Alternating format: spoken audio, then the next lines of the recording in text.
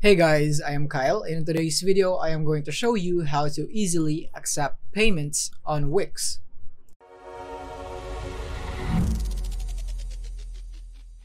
Alright, so now here we are in Wix.com and then from here in order for us to easily accept payments is that I have a new method for you and I think this one would be the best. So what you want to do is you want to click on this add elements button right here on the left side and then from here, you simply need to click on search right here and type here PayPal.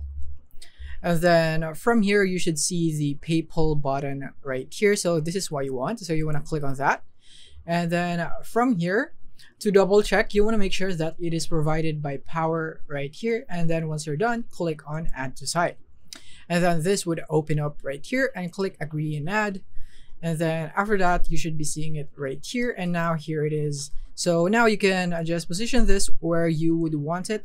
So for example, just for the sake of an example, I'll just place it right here and just I'm gonna resize this right here. So let's just say, for example, this is our product right here. This is where we are uh, talking about our product and then we have our buy now button right here. So let's say you position it right that and then from here what you want to do is you want to click on settings so that you can set up this button and so on right here and the customers would be able to pay for it. And from here, the first one is you have the template right here. This is what would pop up. So you have three templates depending on what you want. So you can go buy now, you can go for donate, or you can go for subscribe right here. But in this case, I'll just go for one-time purchase. And then you want to go into settings next, and then you want to make sure that here, you want to make sure that your Connect payment account is uh, set up right here. So here in your PayPal, all you have to do is provide your email right here on PayPal. So once you have set up your email right here, you would need to verify it. You would need to go to your email and then it would send a verification code or a link right there in order for you to verify it right here. But I'm not going to do that right here in this video so that we can uh, save more of time. And then once you're done with this one, this is very crucial. Okay, so don't miss this step. And then the next thing is that you can now uh, see here, you have the autoresponder email, the payment notifications, and redirect after payment. So the payment notifications right here. So this is where you can uh, have notifications too. And then the autoresponder email, this is very important. So you can click on enabling this. So you can uh, customize your autoresponder email. So what does this do? So this is basically like the thank you email that the buyer would get after uh, ordering your product or buying your product right here. So this is how you do it. You can edit it right here.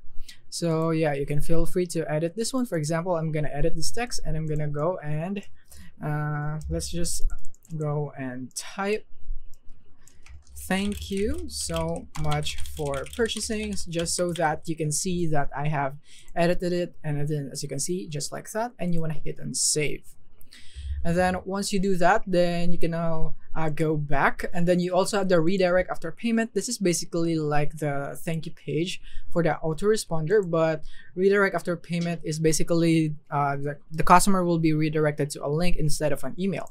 So i think this one is better compared to an email where the customer would uh, less likely check their email right here. So redirect after payment would be a great one so that you can just provide a url of your uh, of your thank you page. But this one is for premium features only, so you would need to upgrade your plan. And then the product right here, so you can customize the button text, the product name, and so on. So you could go for buy uh, shop now. Maybe you can do it like that.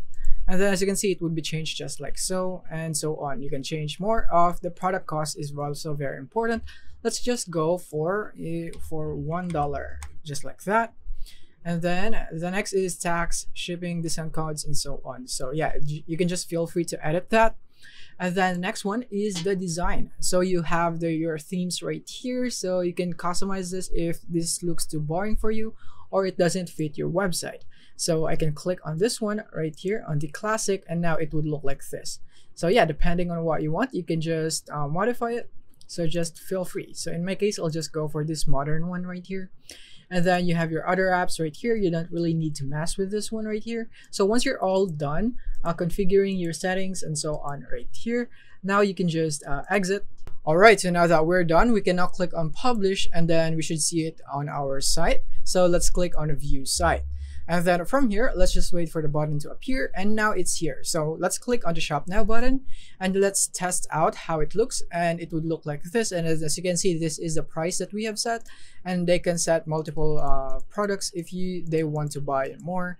And then all they have to do is uh, go for PayPal checkout or PayPal credit and so on. So that is basically it for this video. I hope this video helped you out.